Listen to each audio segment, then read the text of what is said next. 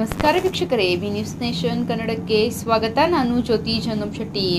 ವಿಜಯಪುರದ ಶೇಖ್ ಜನಾಬ್ ನಿಧನ. ವಿಜಯಪುರದ ಗಣ್ಯರಾದ ಶ್ರೀ ಬಾಬು ಸಾಬ್ ಶೇಖ್ ರವರು ವಿಧಿವಶರಾಗಿದ್ದಾರೆ. ಶಿಕ್ಷಕರಾಗಿ ಸಮಾಜ ಸೇವೆ ಕೈಗೊಂಡ ಇವರಿಗೆ ಎಪ್ಪತ್ತೆಂಟು ವರ್ಷ ವಯಸ್ಸಾಗಿತ್ತು. ಬಿಎಂ ಪಾಟೀಲ್ ಶಾಸಕರ ಒಡನಾಡಿಗಳಾಗಿ ನಗರಸಭೆಯ ಸದಸ್ಯರಾಗಿ ರಾಜಕೀಯ ಮತ್ತು ಸಾಮಾಜಿಕ ಕ್ಷೇತ್ರದಲ್ಲಿ ಇವರ ಸಾಧನೆ ಅಪಾರವಾಗಿದೆ.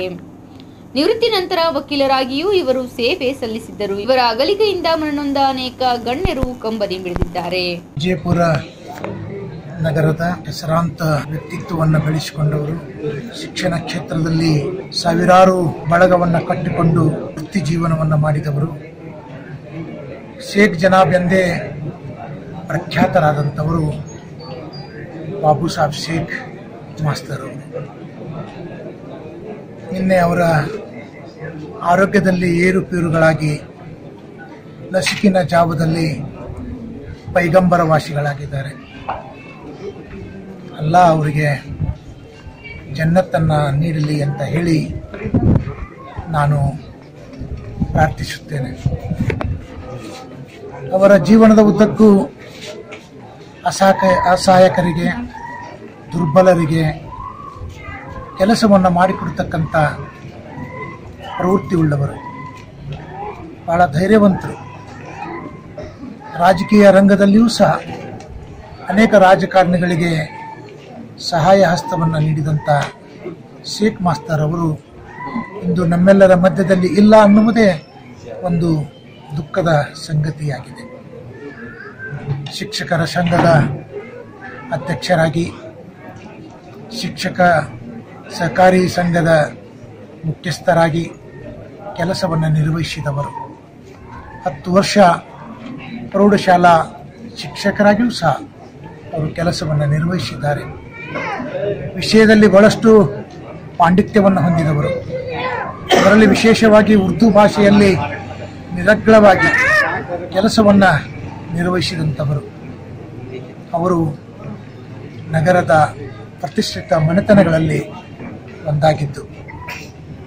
ರೋಪ್ ಶೇಖ್ ಅವರು ಅವರ ಮೂರನೆಯ ಸುಪುತ್ರರಾಗಿದ್ದಾರೆ. ನಗರ ಪಾಲಿಕೆಯ ಕಾರ್ಪೊರೇಟರ್ ಆಗಿ ಕೆಲಸ ನಿರ್ವಹಿಸ್ತಾ ಇದ್ದಾರೆ. ಇಂದು ನಾಲ್ಕು ಗಂಟೆಗೆ ಅವರ ಅಂತ್ಯಕ್ರಿಯೆ ಸಮಾಜದ ಎಲ್ಲ ಬಂಧುಗಳೊಂದಿಗೆ, ಅಭಿಮಾನಿಗಳೊಂದಿಗೆ ನೆರವೇರಿಸಲ್ಪಡ್ತದೆ.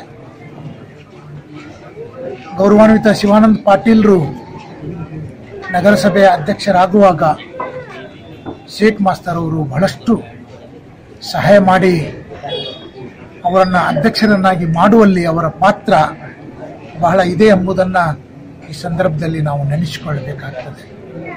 ಅದರ ಜೊತೆಗೆ ಬಿ ಎಂ ಪಾಟೀಲರ ಒಡನಾಡಿಗಳಾಗಿದ್ದರು.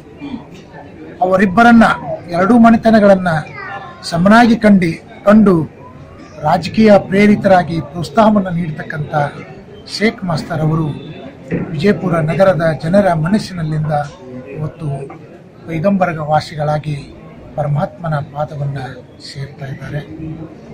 ಅದಕ್ಕಾಗಿ ಶೇಖ್ ಮಾಸ್ತರ್ ಅವರು ಅವರಿಗೆ ಪುಣ್ಯ ಜನ್ನತ್ತ ಪ್ರಾರ್ಥಿಸಲಿ.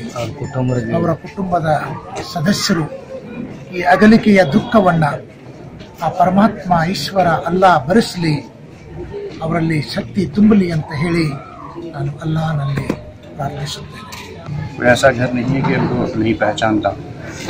ہر گلی گلی پوچھے پوچھے میں بچہ بچہ تک ان کی شخصیت سے واقف تھا۔ آج جناب کے انتقال کے بعد یہ بہت ہی بڑا صدمہ پوری بجاپور شہر کو ہوا ہے۔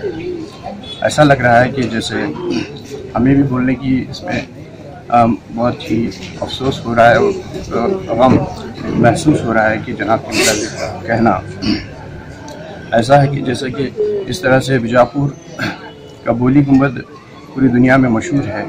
اسی طرح ہمارے شیخ جناب بھی جو ہے، ہمارے جناب بھی بجاپور میں بولی گنبد کی طرح ہی مشہور تھے۔ اور ہم دعا کرتے ہیں کہ اللہ تعالیٰ تمام اہل خانہ کو صبر، تحمل ادا کرے۔ ایک بڑی شخصیت کو ہم نے کھویا ہے۔ بیجاپور کی ایک عظیم شخصیت کو کھویا ہے، ان تمام لوگوں سے درخواست کرتے ہیں کہ جناب کے اپنے دعا کریں۔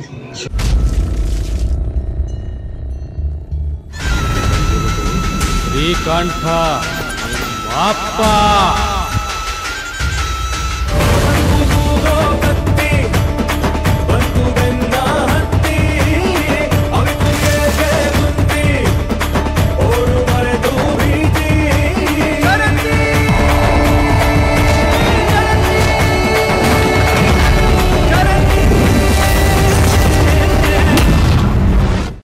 ಸುದ್ದಿಗಾಗಿ ನೋಡ್ತಾ ಇರಿ, B news nation Kannada. B news nation Kannada. Latest ನ್ಯೂಸ್ಗಳನ್ನು ನಿಮ್ಮ ಮೊಬೈಲಿನಲ್ಲಿ ನೋಡಲು ಯೂಟ್ಯೂಬ್ನಲ್ಲಿ ಬಿ ನ್ಯೂಸ್ ನೇಷನ್ ಕನ್ನಡ ಎಂದು ಟೈಪ್ ಮಾಡಿ ಸಬ್ಸ್ಕ್ರೈಬ್ ಮಾಡಿ ಬೆಲ್ ಐಕಾನ್ ಪ್ರೆಸ್ ಮಾಡುವುದರ ಮೂಲಕ ಲೇಟೆಸ್ಟ್ ನ್ಯೂಸ್ಗಳನ್ನು ನೋಡಬಹುದು.